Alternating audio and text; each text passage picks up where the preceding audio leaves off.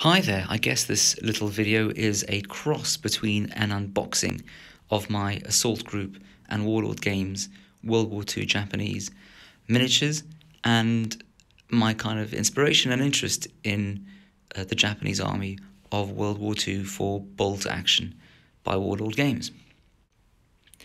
When I was a kid, my parents recorded most of the World at War series narrated by Sir Laurence Olivier, and it really made a deep impression upon me, particularly the episode, I think it was episode six, Banzai, where the Japanese basically, uh, as per this history of it all, kind of come out of nowhere um, and just destroy all the presumptions around European supremacy in Southeast Asia in a matter of months.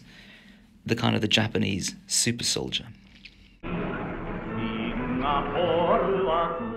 Singapore's fall meant that the whole of Southeast Asia lay at Japan's feet. Within weeks, the Japanese army was at the borders of India, and the Japanese navy was steaming close to the shores of Australia. They had succeeded beyond their wildest dreams. I guess these days you'd get more of a, a nuanced view of where the Japanese were coming from, even if it's pretty hard to agree with it. But I mean, this was the 70s. Check this out. Japanese closed in for the kill.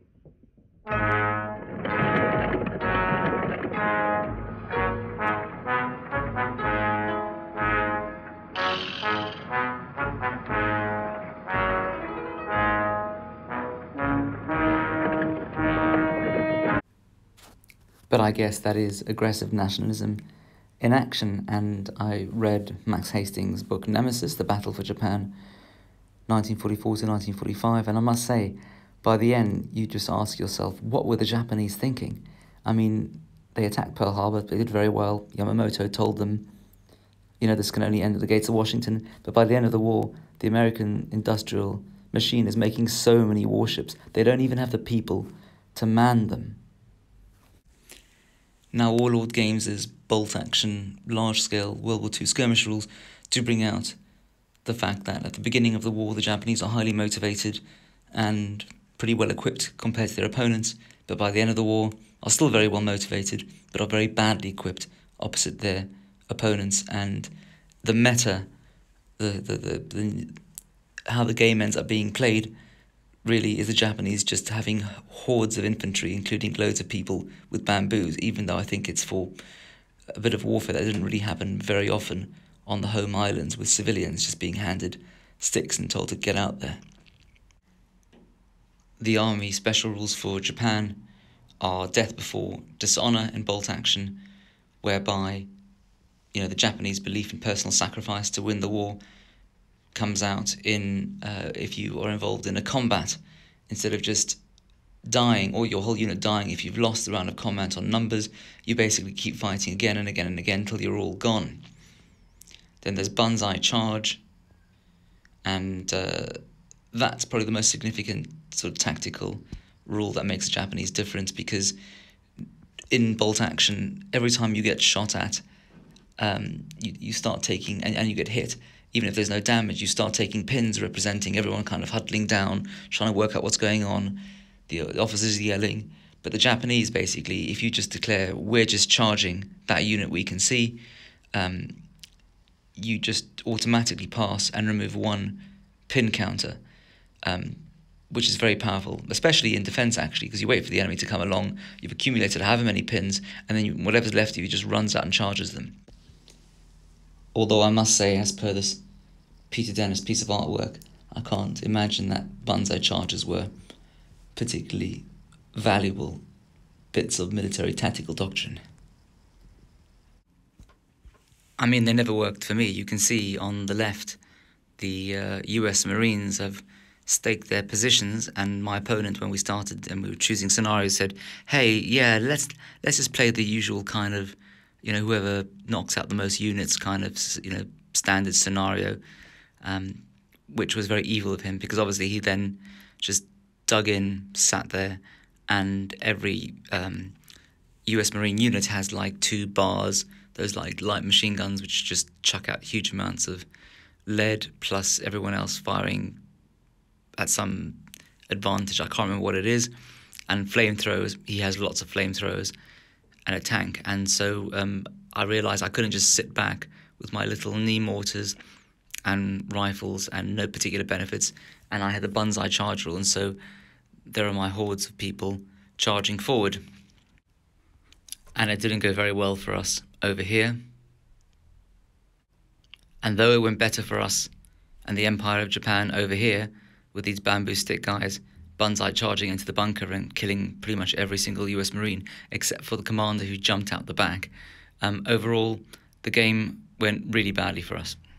And as that game came to an end, I exclaimed to the store at large, you know, crikey, this Japanese army of mine is not really optimized. And what I had in mind was really I need to get a whole horde load more of infantry, which I then went and did, and which is really, I guess, the subject of this video, which I am coming to shortly.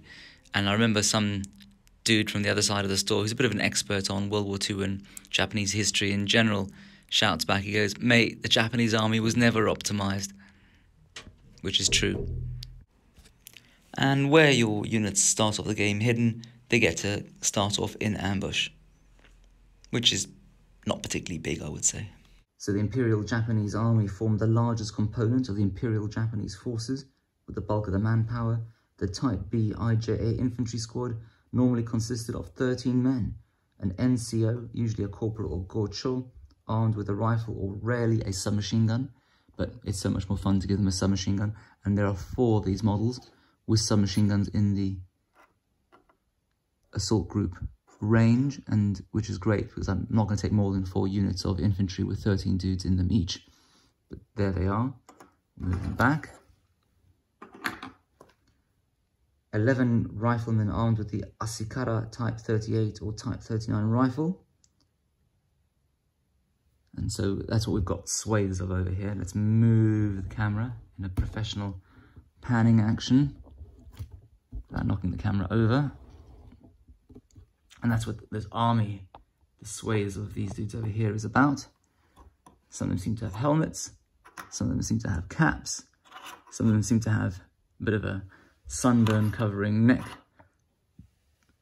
uh, bits of cloth. Some of these are kind of patrol meandering about the edge of a perimeter type uh, mode, presumably for those Chindit games, but I just mashed them all up together in one. But I mean, they are some of my favourite models, the Sentry version. And then there are a few in a kind of banzai charge mode, and they too are good fun.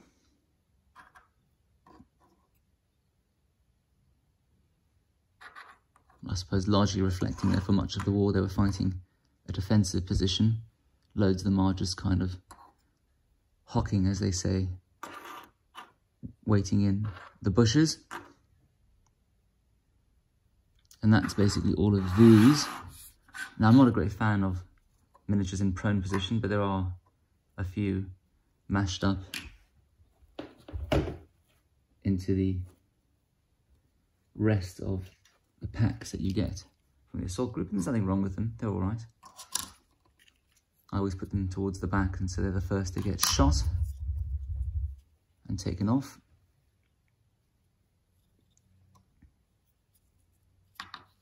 I sprayed these with, um, I think it's the Army Painter Desert Yellow. And I'm hoping that it'll be a simple matter of dry brushing them with, say, Iraqi sand, mixing with a bit of that, and then adding a little bit of white. So we're talking three layers max, uh, and then just giving it some kind of wash, and then doing the putties, whatever it is, uh, khaki or white color, the rifles, you know, dark brown and silver, a bolt, you know, a bolt gun metal type thing, and then oh, it's going to be, I mean, obviously skin is highly controversial. But to the extent that you can generalize, and you basically can't, uh, someone on Cool Mini or not, where there are loads of fantastic painters, kind of broke down every single kind of group of uh, skin colors of the world and how best with, I think must be Vallejo paints, you could kind of achieve that or mix it up. And uh, for the Japanese, it looks to me like because I'm no genius at interpreting all that gobbledygook below there, but it looks to me like you basically do a mix of 40% kind of some kind of normal European flesh color, and then just add a lot of chocolate browns, more chocolate browns, so 60% chocolate brown, 40% the European skin tone, and I suppose highlight up from there with you know, tads of the European skin tone, just wherever you think your light source is. Although the reality is, these may never get painted, but it doesn't matter. I'm basically playing um, the equivalent of a, a giant board game with them. And are they ever going to all get painted given the numbers? So that's the infantry. That's obviously early war infantry, mid-war and late war infantry. But then we get to the bamboo squads. Before the war finally ended, the Japanese prepared to resist with whatever weapons they could muster. Although as many firearms as possible were issued to those able to use them, others were equipped with nothing more than a sharpened bamboo spear, and these cost tuppence halfpenny. You can get a unit of 10 for about 50 points. And they are green, which means there's an outside chance they won't be remain inexperienced, but they also get fanatics, um, which and they also get the Banzai charge rule,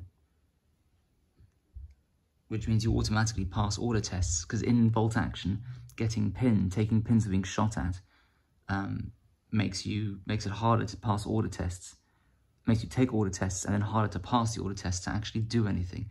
And for most armies, that leads to any unit with a pin just sitting there doing not much for most of the game, except rallying or occasionally being able to take a shot.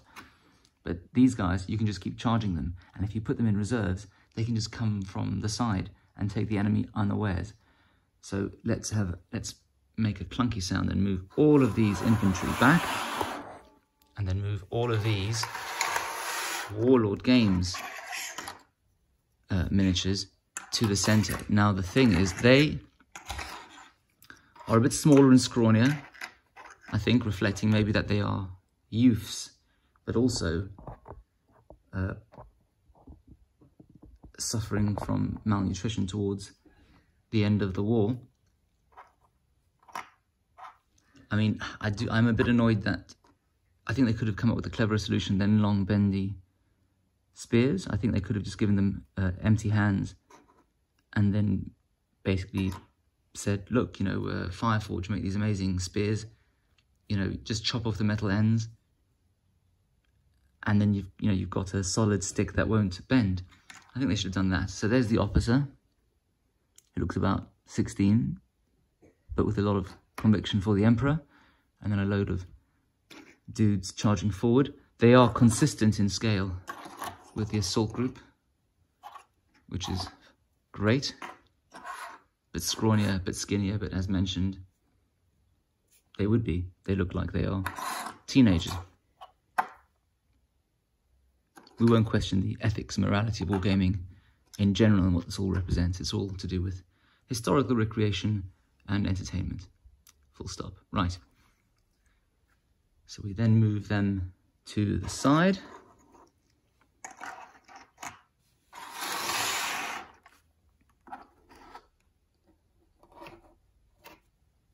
And we look at our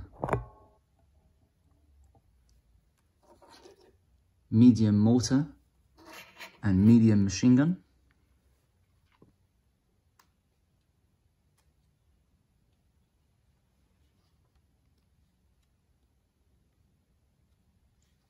The standard Japanese medium machine gun of World War II was the 7.7mm caliber Type 92, introduced in 1932. This was a refinement of basically nicking the French Hotchkiss. The Allies called it the woodpecker on account of it sounding like a woodpecker. And I think there's nothing particularly special about the medium mortar.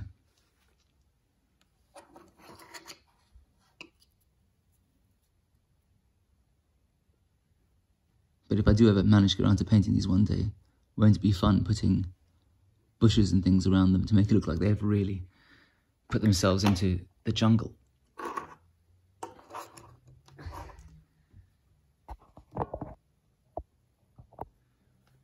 And what we've got here is a suicide anti-tank team, although I think each individual dude is an individual suicide anti-tank team. The lack of anti-tank guns capable of taking on heavier tanks, such as the Sherman, led the Japanese infantry to develop desperate anti-tank weapons, involving extreme risk and sacrifice. They would wait in disguised pits holding artillery shell, and then just jump out of the pit and blow themselves up against the tank. And what I must say in terms of bolt action is, even if the enemy doesn't take tanks, you get an extra um, action dice for these, which means you've got more of your action dice in the bag, being with a greater potential for your, being your action drawn out, uh, which means you, you know even if a dice comes out and it nominally represents these guys, you can use it to bring on, uh, you know, to move your infantry forward or use a tank, and that's what I do. Then we've got the snipers.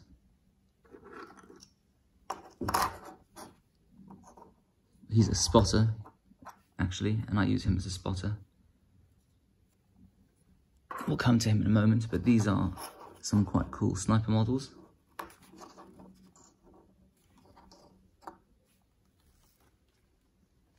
The jungles of South Asia provide a plenty of opportunity for snipers to make their mark.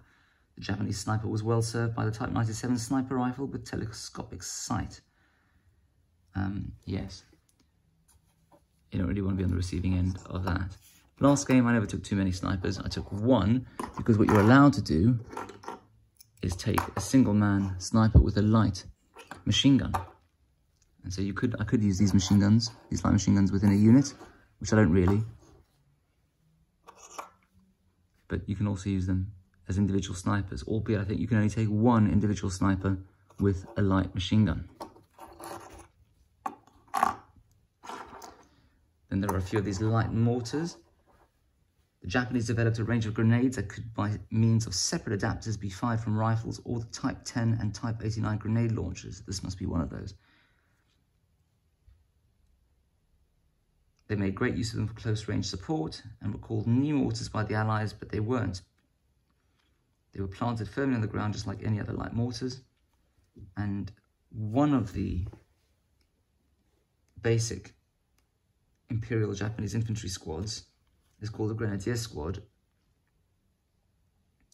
with 16 men and three of them can carry a Type 89 grenade launcher, but they need another dude to kind of help them. Although the Type 89 launcher was commonly used throughout the Pacific Theatre, it was often ineffective in dense jungle fighting because the impact fuse tended to detonate on striking the jungle canopy. Oh well. Whenever I use them, they don't very often hit. They've only got a one inch template. But no one likes the sound of mortars being fired at their unit. Flamethrowers, I didn't take any in the last game. Obviously the Marines always take a vast number of flamethrowers. One to think about. Because I must say the medium machine gun tends to be largely pointless in bolt action. And the mortar tends to hit not very much. So maybe they just get replaced.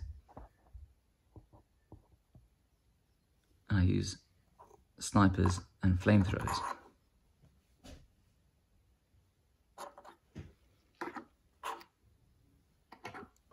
And this is the quite substantial officer corps. I mean, these guys with the swords are not very useful. They look great fun, but they tend to get shot before they get anywhere. More charismatic is that fellow with his glasses and little moustache. He looks a bit more high command, as does he.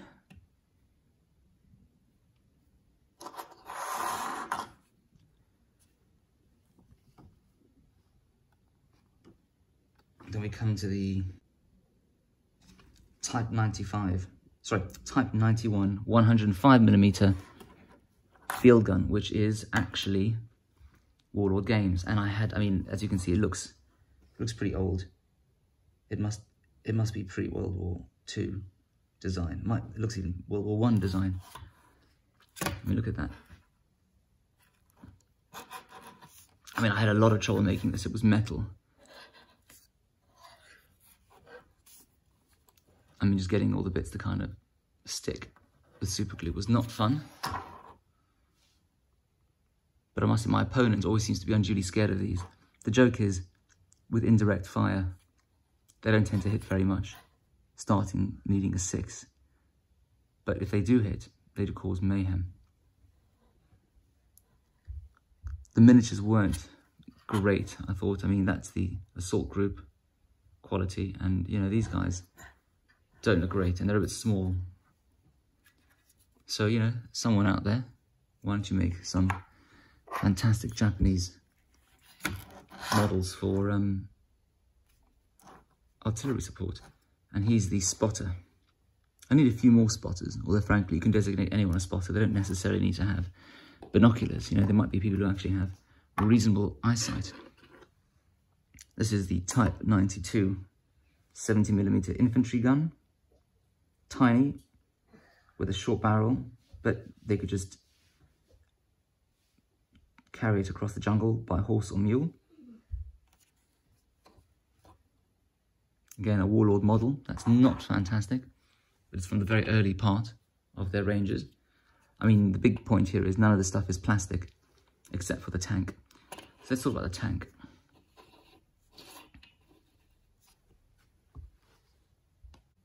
The Type 97 Chiha medium tank, Japan's standard medium tank, but with only 15 tons, excellent speed, and not much armor, it was basically considered a light tank compared to any other contemporary army. Low velocity 57mm gun, also featured a rear-facing machine gun. Although obsolete by the start of World War II, it continued production until, the late, until late 1943 and presumably was fine in China when they fought people who hadn't seen a tank ever in the wilds of rural China. But I imagine when I met the Marines, it didn't last long. I imagine what they probably did with these is just use them in defensive positions and kind of half bury them. And we'll start to uh, end this with me giving a brief summary of a recent game I played. This time I was a bit wiser than I've been in the past when my Marine opponent said, hey, let's just, you know, play a standard scenario of just, you know, kill the most enemy units. I was like, no, no, no, no, no, because obviously, as with the last two games, that just means that you and your enormous firepower sit back I can't outshoot you, so I have to charge you, and then you mow most of me down, and it doesn't turn into much of a game. So let's just roll the scenario table. And we got one of the attacker-defender scenarios, which I think is entirely appropriate given you know, this is basically an island hopping scenario. And so I got to be the defender, and I placed four markers, these D3 uh, dice on my side, and they were the objectives. He had to get, I can't remember what it was, if he got one, it was a draw. If he got two, he won. Something along those lines. Anyway, if he got none, he lost. And um, so I set up all of my units. We're talking about a Chiha over there. Um, I think that was a, a heavy uh, piece of artillery. I love taking heavy pieces of artillery. They don't often work out, but if they do, they cause mayhem. And they certainly encourage an enemy like the Marines not to just dig in and sit there and kill you. Um, and I had a few of these. Uh, you can see them hiding in the bushes. Um, what are they called? Uh, like um, anti-tank uh, single bloke kamikaze units who just run out and blow up American tanks, um, which usually cause enormous fear and at the worst give you loads of extra bolt action dice to maximize the chances out of the bag that your guys are going and the enemy isn't. Um, medium machine gun over there, pointless. Would I take it again?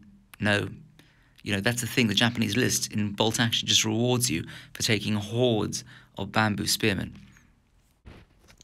And as you can see by the yellow markers, which are the pin markers, uh, what the attacker gets, because obviously it's not a great scenario for them, but what the attacker gets is uh, they get to lay down a barrage which uh, which causes some casualties on you as a defender. Um, if they're lucky, but more likely just gives you a whole load of pins, which takes you time to kind of rally from uh, and limit your ability to uh, carry out anything except rallying um, because it makes it harder for you to give normal orders. And in the top right there, you can see loads of American units who will um, move on whenever their dice is picked out of the turns bag as and when. Now, for reasons I can't fathom, I think it'd been a long day, I'm not that bright, And so I remembered the Banzai charge rule because even though these guys had some pins, that, that the students over here, I just charged them up because they automatically passed and they just charged the nearest American unit. And I thought, why am I charging? He's got to come to me. Dole.